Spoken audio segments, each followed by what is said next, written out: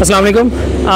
हम डॉक्टर शहबाज अहमद। आज हम लाहौर से लिया की तरफ़ आ रहे थे तो रस्ते में ये नज़र आया है दरिया चनाब पे।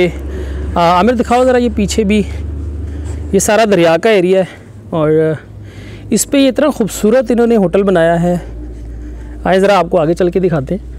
पहले भी मैं अक्सर इधर आता हूँ तो चाय के लिए ज़रूर यहाँ पे हम रुकते हैं। तो आज एज़ल का बेसिकली जो है, वो थोड़ी जब से ये एट मंथ्स की हुई है तो इसका पहला विज़िट है इस तरफ़ का।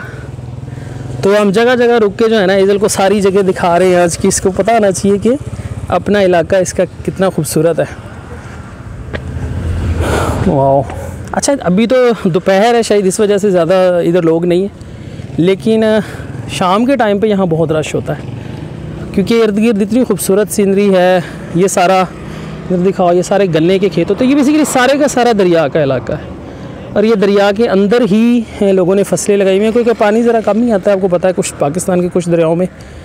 तो अंदर ही लोग फ़सलें लगा लेते हैं, लेकिन जब सैलाब आता है तो फिर वो उनकी ज़ायबी हो जाती हैं। लेकिन जो एक आधा सीज़न इनका लग जाता है ना फ़सल का, वो बहुत अच्छा लगता है। मतलब इसकी जो प्रोडक्शन है ना, वो बाकी ज़मीन की नस्बत ज़्यादा होती है। ईजल आपने कुछ बोलने कुछ बोलने ईजल बस देखी जा रही है नई नई चीज़ें। हाँ मेरा आगे आओ ज़रा। ये देखिए जी, ये बिल्कुल दरिया के किनारे के ऊपर है। और शाम के टाइम पे यहाँ पे लाइट्स वगैरह इन्होंने जलाई होती हैं, बहुत खूबसूरत लगती है। यहाँ पे देखें तो ये देखिए, कितना खूबसूरत दरिया का इलाका। इधर से दिखाओ ज़रा। अभी हम आ रहे थे तो वहाँ पे ना एक गाड़ी वाले को टक्कर लगी है ट्रॉलर की। तो रुक के मैंने उनको देखा है। पेशेंट वैसे स्टेबल थे, शुक्र है कि हालाँकि गाड़ी का काफ़ी सारा नुकसान हुआ है, लेकिन बचत हो गई है। जानलेवा कोई ऐसा एक्सीडेंट नहीं था। एक का पेल्विक फ्रैक्चर लग रहा था तो अभी उनको एंबुलेंस वगैरह मंगवा के उनको हॉस्पिटल भेजा। लेकिन शुक्र है कि कोई बहुत ज़्यादा इस तरह का वो नहीं नज़र आया कि कोई जानलेवा कोई ऐसी कंडीशन हो। तो हम यहाँ पे चाय के लिए बैठेंगे।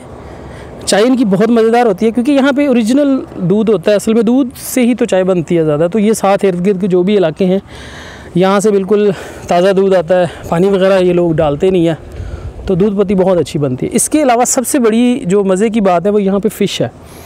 ये आगे दूर से शायद आपको नज़र आ रहा हो। जगह जगह पे ना इन्होंने वो बनाए हैं मछली वाले जो है ना लोग, इधर ही दरिया से भी पकड़ते हैं, कुछ फार्म भी बिल्कुल इसके करीब बने हुए हैं। तो वो हर तरह की आपको, वो पता चल जाता है और वो आपको बता के देते हैं कि भाई ये दरिया की है या फार्म की है। तो दरिया की जो फ़िश है ना, वो बहुत मज़े की होती है। तो वो भी अभी हमने लेनी है घर के लिए। इधर ना ही खाएँ तो बेहतर है। कोशिश करेंगे यहाँ से ले लें और घर ले जाके ख़ुद घर में बना के खाएँ। और बाकी इन्होंने प्लांट्स बड़े अच्छे लगाए हुए हैं। कुछ मुझे ऐसे भी नज़र आ रहे हैं जो मैंने पहले मैंने देखे नहीं है। जैसे ये वाला पता नहीं अब। अगर आप में से भी किसी को पता हो कि ये कौन सा प्लांट ये वाला दिखाओ ज़रा हमें।